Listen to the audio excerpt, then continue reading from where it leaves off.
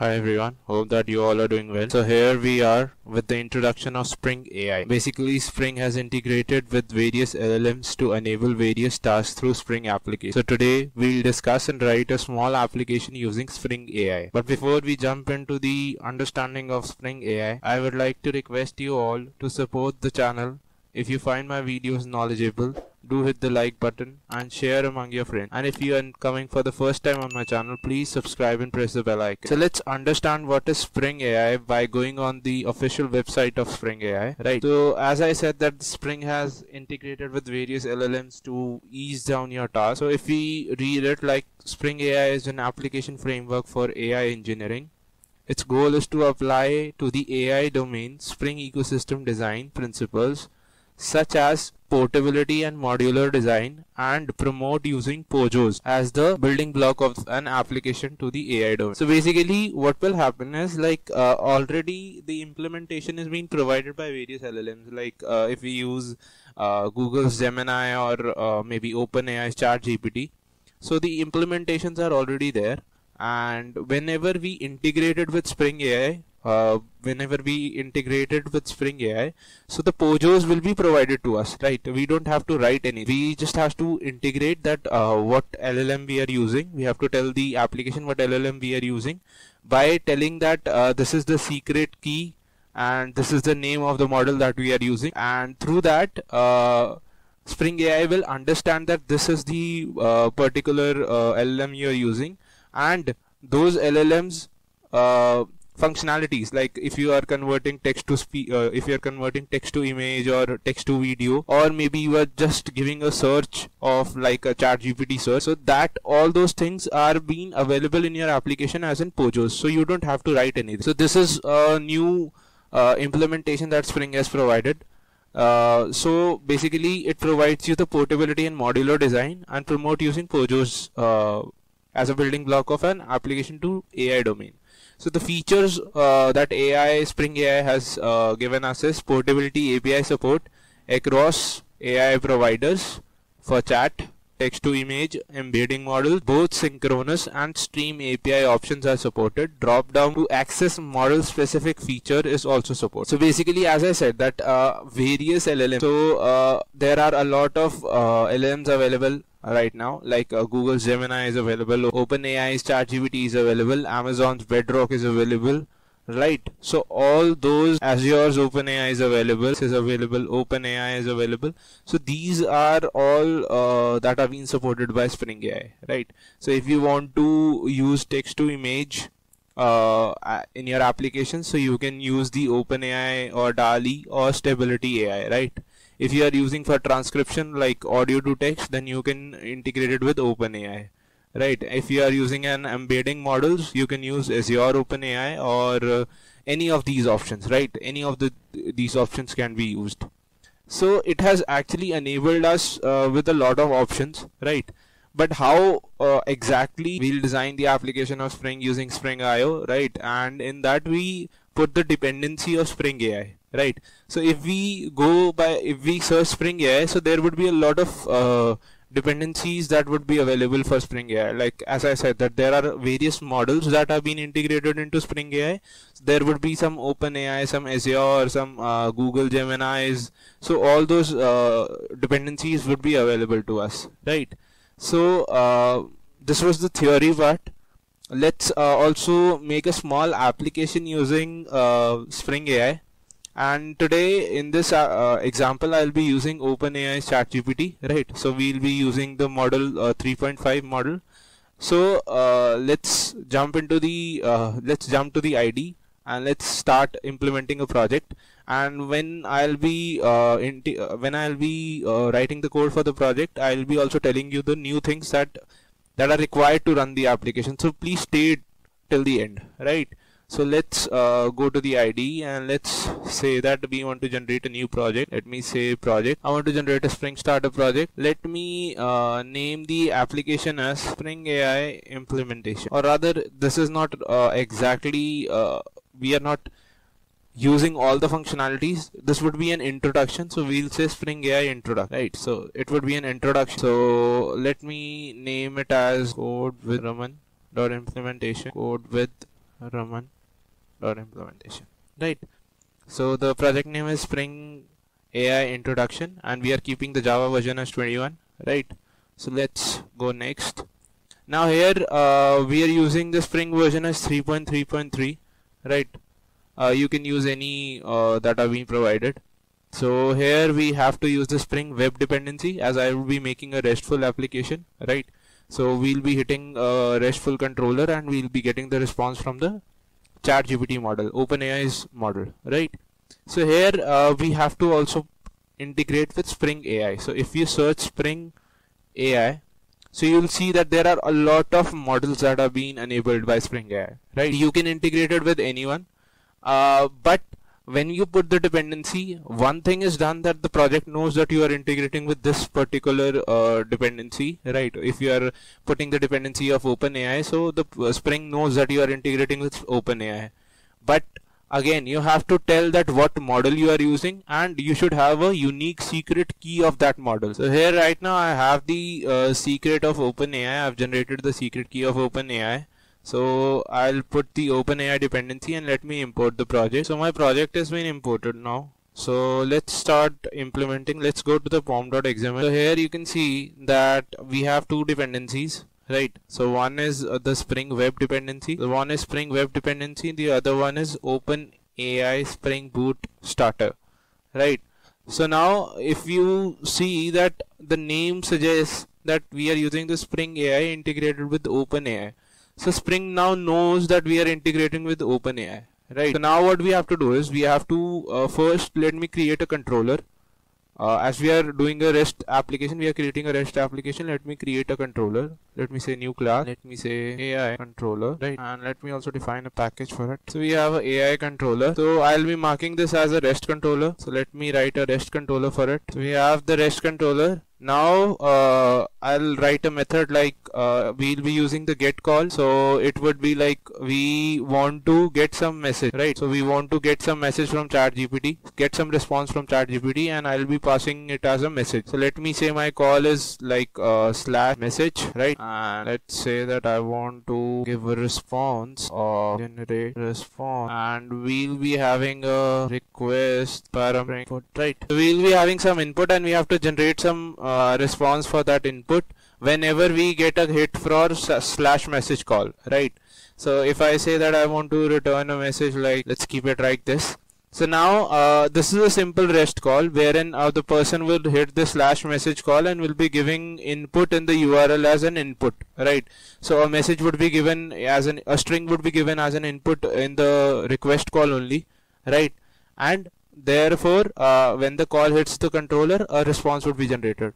Now we want that our response should be generated using chat gpt right so what we can do is we uh, there is a class called as chat client right? So let me say chat chat client right? So you can see that there is a uh, interface that is called as chat client. So you can see the package org spring framework.ai.chat.client right? So let me import this and let me say private chat client chat client right? So uh, I'll have to use this right? So I'll have to use this to generate the response from uh, the chat GPT right so if I uh, go by the implementation of this class, let me go into the implementation of this class. So here is the implementation, right? So implementation says that there is a default chat client method, right? So it is like a constructor and there is a method called as prompt, right?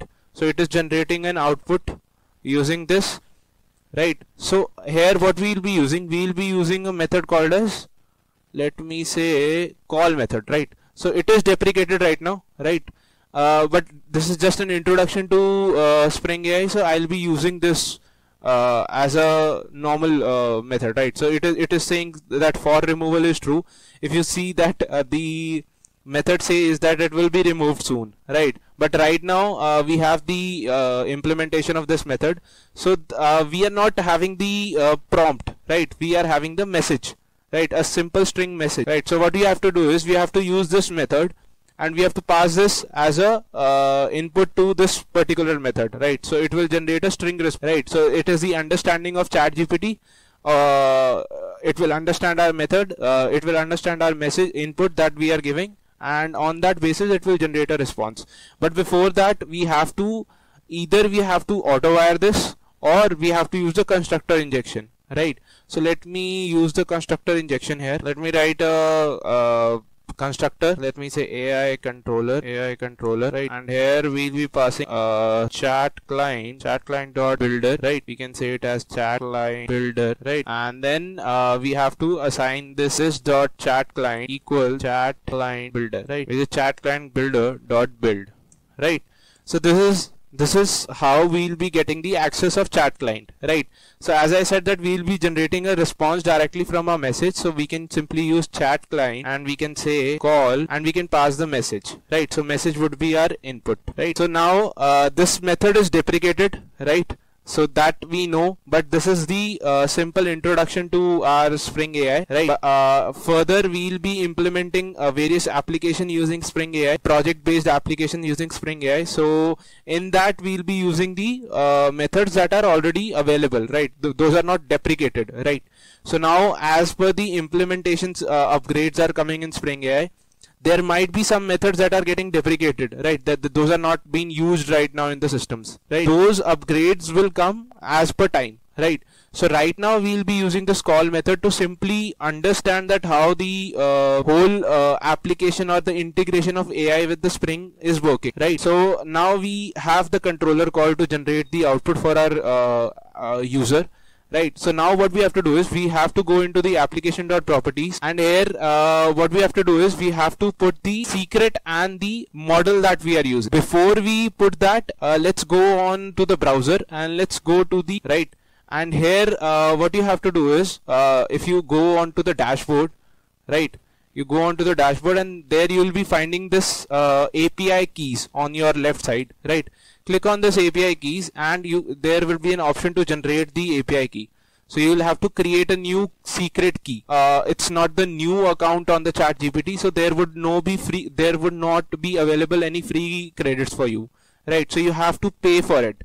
So I have already paid uh, amount to use this so to pay it you can simply go on to the usage and you can add some amount. So I paid around six dollars to do it right? To give you an example that how to use this uh, API uh, Spring Open API uh, using Spring AI right? So I already have generated my key. So I'll put my key and also if you go onto the docs let me put the uh, let me first put the what are the properties here right? So let me say I want to use spring dot AI dot open AI open AI so you can see that there are various uh, but right now we are using a simple model of chat. So we can use the API key. One is this that we have to enter right? There is a key that I have generated already. And there would be another property that is spring dot AI dot OpenAI OpenAI dot chat dot chat dot options dot model. Right. So you have to use this. Now as the property suggests that Spring already knows that we are integrating with OpenAI right. So you can see that the uh, properties the key of the property is very specific to OpenAI right. Same way if you are integrating with uh, Google's Gemini there would be a property very much uh, very much related to the Gemini. Right such that you have to input the model and you have to input the key uh, into your application and you are done with the integration with Spring AI right? So now uh, you have to enter the model here. So for the model right now uh, you can go on the docs and on the docs you can see there is a tab called as models right? And you can see model updates. So right now uh, as uh, these these models are available uh, GPT-4o, GPT-4 Mini, uh, GPT-4 Turbo, GPT-4 and GPT 3.5 Turbo. Right. So right now I'll be using this G GPT 3.5 Turbo. Right. So let me copy this and let me put this model as this and key uh, you have you have a unique secret key that has been generated when you pay uh, uh, some amount. When you add some amount uh, to your OpenAI account then only you will be able to hit the APIs right? So the secret key would be generated for you but when you integrate with Spring AI you run your application and you go and hit your uh, endpoint to generate the response there you will be finding a error called as your uh, quota. You have exceeded the quota right? So that is the error because you haven't paid for the services right? So you will enter your API key right? So I'll enter my API key here. So I've entered my API key. Now what I have to do is I have to just go on the main class and I have to run the application. I am done with everything right? Let me go on to our main application and let me go and run the application. So our application has started right? So if I go on to the AI controller it says that I have to go on the message and I have to input the message right? So let me go on to the browser again. So let me say that I want to say localhost 8080 slash message. So let me say input equals hi. My input say hi how are you? So now you can see that there is a response from uh, the OpenAI. Hello I am just a virtual assistant. So I don't have feelings but thank you for asking how I can help you today right so we are using 3.5 so the feelings are missing here. When you use 4.0 there there would be uh, feelings by ChatGPT too so let me say let me change my input to uh, tell me something about India. Right so it says that India is a diverse and a cultural rich country located in South Asia. It is the seventh largest country in the world by land area and the second most popular country with over 1.3 billion people India is known for its vibrant culture, colorful festivals. So this is the whole uh, like a gist for uh, India that what I said that something tell something about India. So it has given me a gist that this is uh, the India that uh, ChatGPT knows, right? So this is a small gist that it, it has given us. So if I ask, uh, let me say, let me ask another question. Can you explain Pythagoras theorem. So now he uh, the ChatGPT has also given the response for uh, the Pythagoras theorem, right? So this is how you can uh, interact with ChatGPT using Spring AI. So uh, this was it. This was uh, it from this video. This was just a small uh, practical example to implement uh, using the Spring AI, right? So if you people find my videos knowledgeable, so please give a like, share and comment on the videos. Please do share my videos among your friends if you find something interesting in my videos. And if new to the channel, please subscribe and press the bell icon. Hope to see you in the next video. Till then, happy learning.